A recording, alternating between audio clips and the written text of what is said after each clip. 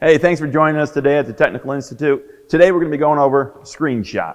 Now Screenshot is designed to work with Lippert right swing doors or right hinged doors. So as you're looking at your door and you open it, it should swing to your right. If you have a different door manufacturer or the door swings to your left, it won't work with that style of door. The Screenshot is designed to automatically pull that screen door closed as you're exiting the RV. That way pests debris, whatever it may be, doesn't get inside your RV. So today we're going to be going over what's inside the box and then basic installation. So tools for installation, what you'll need is tape measure so that you're measuring that opening of your door the proper way so that you're ordering the correct one that's going to fit for your screen door. And then a cordless drill. We'll be using an impact today, but you can use a standard, standard drill as well. Let's see what's inside the package. So inside of here, you'll have a set of fasteners.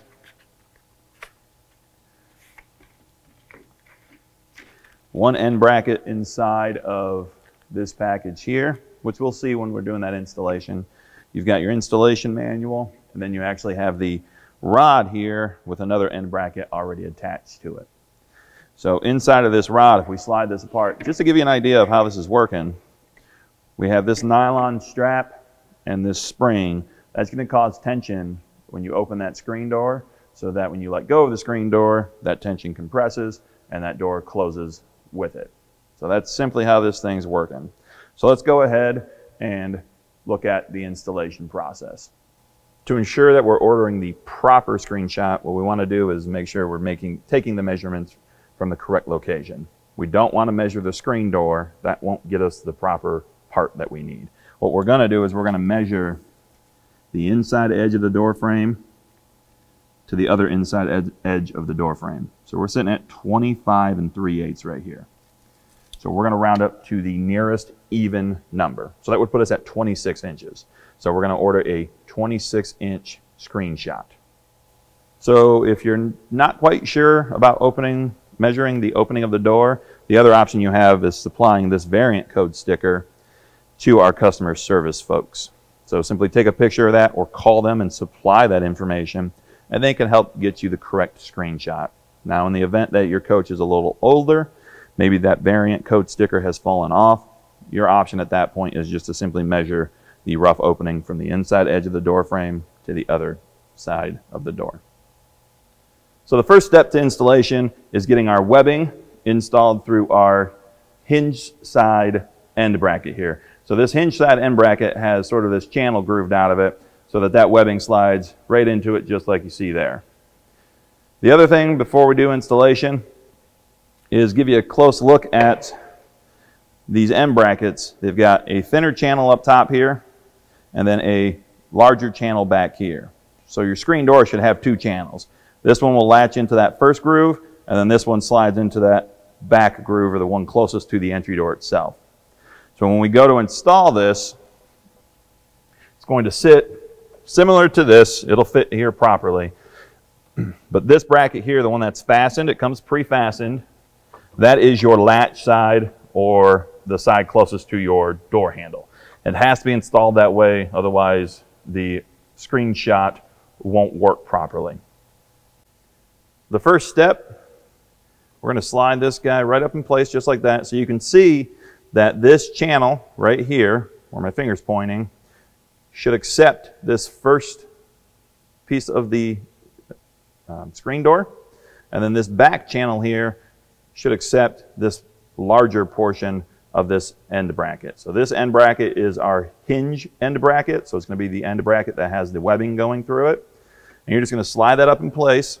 The other thing you want to make sure is that the top portion of this end bracket, so where it's flat right here where my finger's riding along, is sitting flush with the bottom of the H bar or where the uh, screen door or the screen is attached here.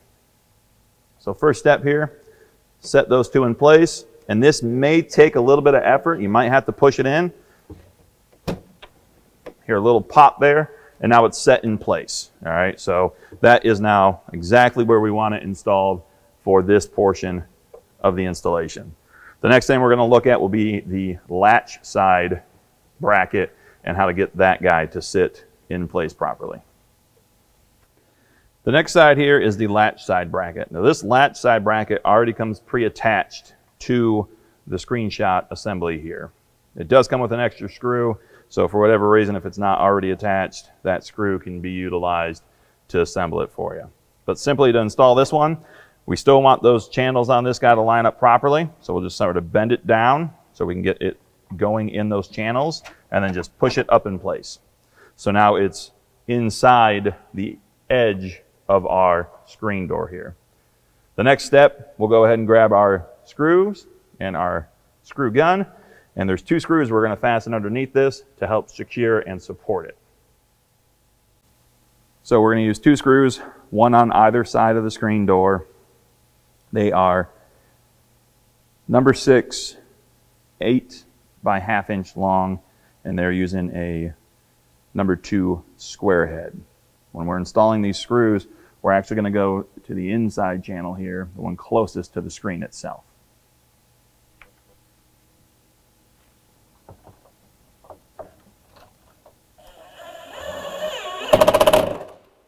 Now that we've got that side in, that's going to help support that end bracket.